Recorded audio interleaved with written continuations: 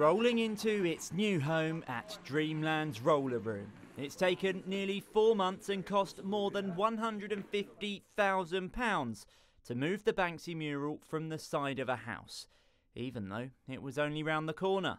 Oh, we're delighted it's here. I mean, you know, to have uh, globally renowned artists like Banksy's work exhibited here at Dreamland is just fantastic.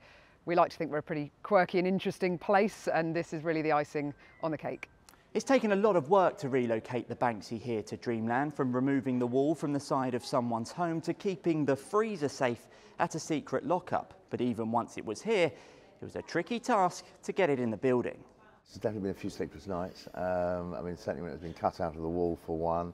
Um, certainly when I got a phone call from the Art Conservators to say uh, we've double checked our measurements and uh, we're six millimetres the wrong way. We can't get it into Dreamland. So when they lifted it out of uh, their warehouse, uh, they had to hold it in the air for about several hours to cut, to cut the existing wheels off that they put on previously uh, and resolder on new smaller wheels um, to gain 30 millimetres just so we could actually get it in the building.